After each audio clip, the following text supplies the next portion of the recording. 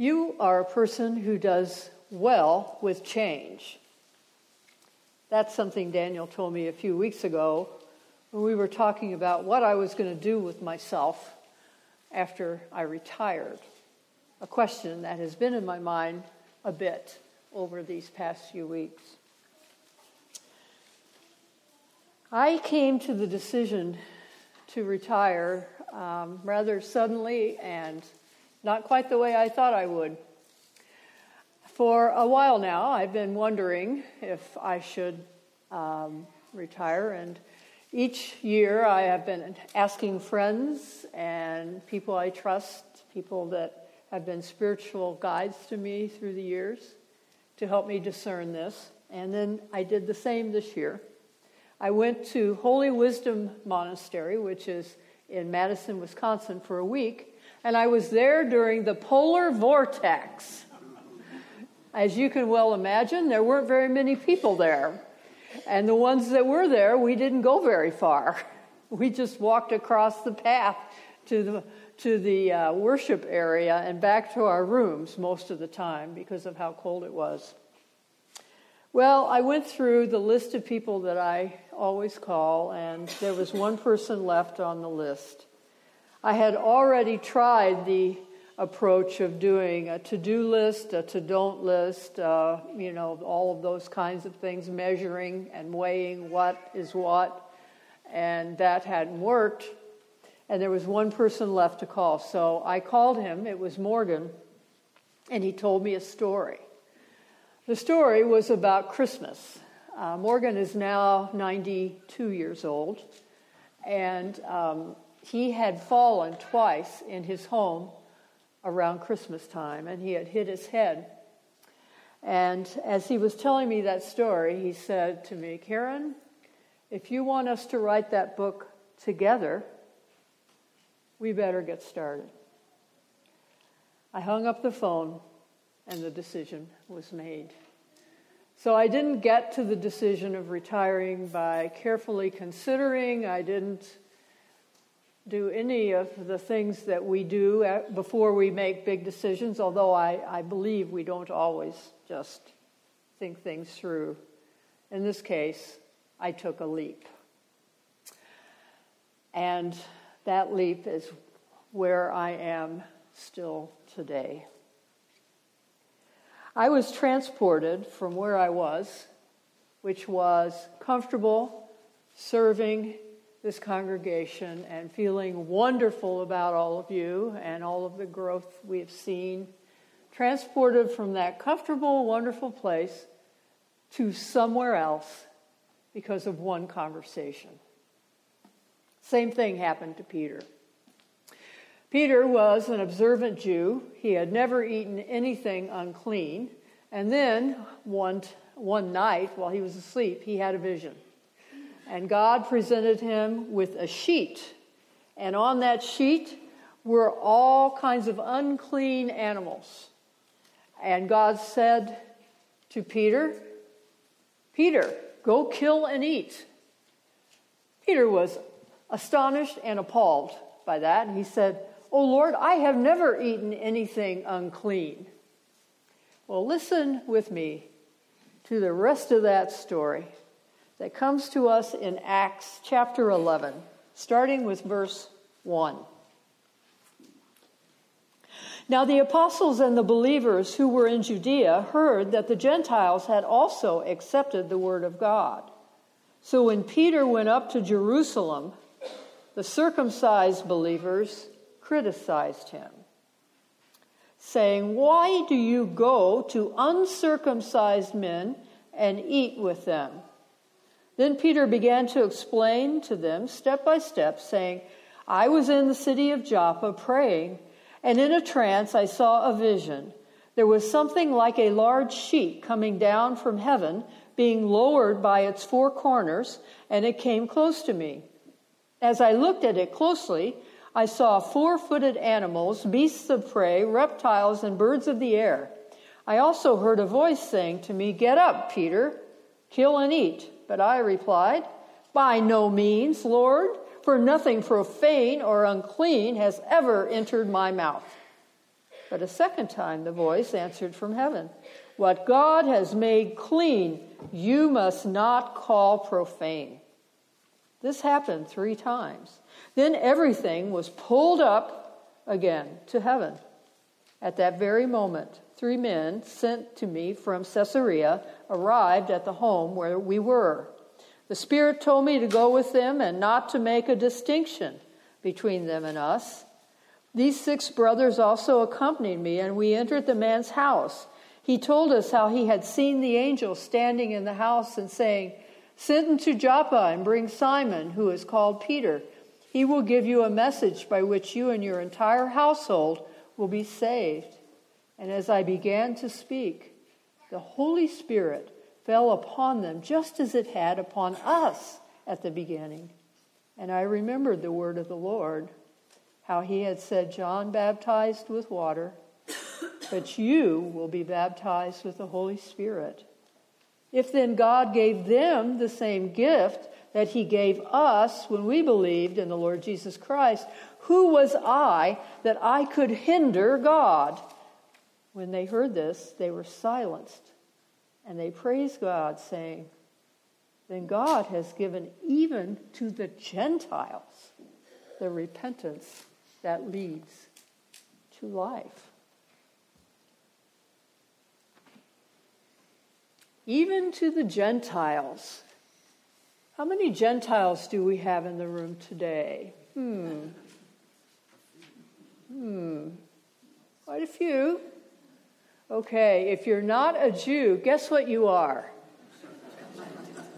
Okay. The Gentiles were the other people. They were the people who were not Jews. When I went to the Holocaust Museum in Skokie a few years ago, after I was done, I walked out and there's a beautiful garden there. And I saw a sign on it and it said, In memory of the righteous Gentiles who saved our people during the, during the Holocaust.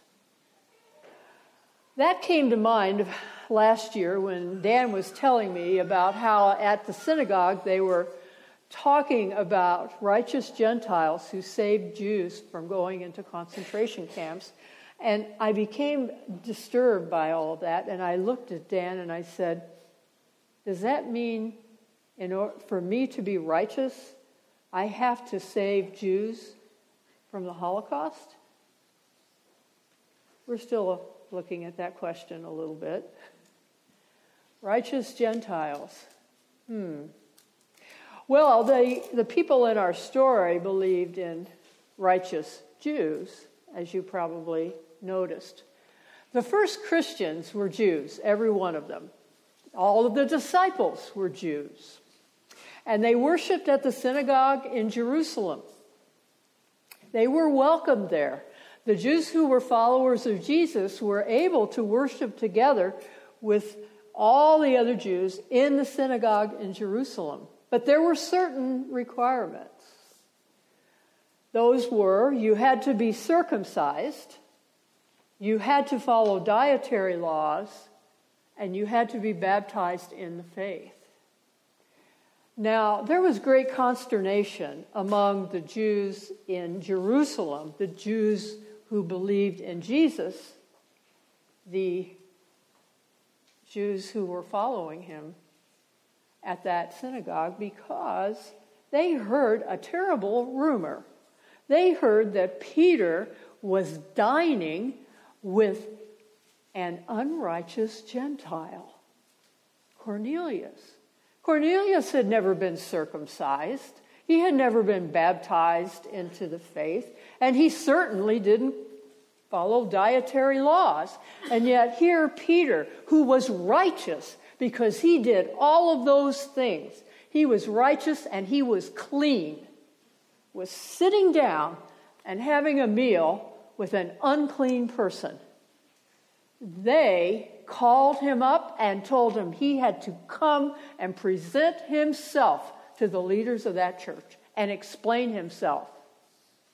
Now, these people that were the leaders of that Jerusalem church were not some kind of petty religious leaders. No, these were the very leaders of the nascent church that one day would become what we know as Christianity. And they believed that anyone who came into the faith had to follow all of the rules of the faith, which means everyone must be circumcised, baptized, and follow the dietary laws. Peter violated that. He had some explaining to do. But as you will remember, Peter was not one to hold his tongue. And he was quite impetuous and he was ready to go. He went to that group of leaders and he stood right before him them but he did not try to talk them out of believing what they believed. Have you ever tried to talk someone out of believing what they believe? That's all right. No one has to admit that. But I can tell you from my own experience, it never works. It never works. Peter did not do that. He told them a story. A story. He told them his story. The story about how the sheet had been spread out before him, and he was told to kill and eat, and he was not to call anything unclean that God had made clean. And after he told that story, all those leaders in that synagogue in Jerusalem were silent. But then one of them began to speak up and say, The grace of God and the Spirit of God has been poured out even on the Gentiles. The same grace the same Spirit that has been shared with us has been shared with them. They can join us in the repentance that leads to salvation, and they worship God. They were so happy, so joyful. Can you imagine something like that happening today when we find out that some group of people were actually clean and and part of us, I don't know if, if we would have responded in the same way that the synagogue did, but they did. They responded with joy. And they responded not to an argument, they responded to a story. And that is how we began as Christians. We began right there in the synagogue. You know, we're living in a day now where separation is becoming the way of life for many of us in the world. We have become so divided that it is very difficult to imagine us as one family of God. But that does not have to be the way the world would look.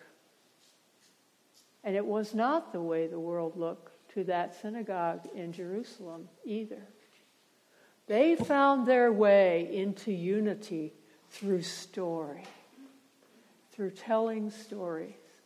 About two or three weeks ago, I, would, I joined the youth Sunday school class when they were, they were preparing for Youth Sunday, and Sean told our class a, a story something he had seen that had it was about a group of people who were worshiping and they were worshiping by telling stories.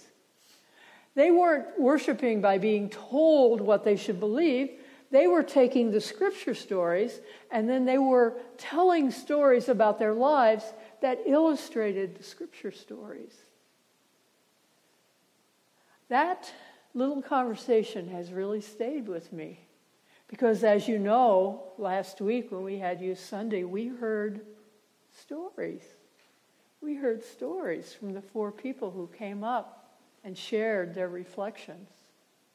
Stories are what will one day bind us together into one. That is what we must start doing. We must stop arguing about who is in and who is out and who is righteous and who is not, and start sitting down with one another and telling our stories. Because our stories are going to bear a great similarity. We all came from God, and we are all going back to God. We are all on a journey. And that journey can be shared. And when it is shared, we begin to bind ourselves together in the grace of God. Who are we to hinder God's grace that has been poured out even on the Gentiles? Who are we to stop the God who so loved the world that he gave his Son so that whosoever believes will not perish but have eternal life? God is on a mission for all of humanity. We too are asked to join in that very same story, a story that we see again today when we baptize Graceland. A story of blessing. Everything about baptism is blessing. It's all blessing. When Jesus was baptized, God came down, tore open the heavens, and said, This is my beloved Son, in whom I am well pleased. God blessed Jesus. And when we baptize, we bless a child that is just getting started in this world. And we begin a life that is all blessing, all the way to the end. All the way to the end. We live in this blessing that God has bestowed on us in His grace. So let's start telling stories, shall we? stories of our lives, stories of how God has changed our mind, or God has put us on a different path. Stories that will bless all of God's children. That will bring us together again as one family.